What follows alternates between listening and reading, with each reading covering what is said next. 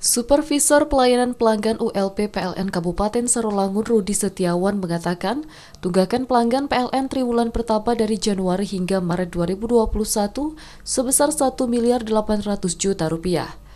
300 juta rupiah merupakan tunggakan pelanggan umum dan sisanya tunggakan di masing-masing organisasi perangkat daerah serta perusahaan air minum Tirta Sako Betuah.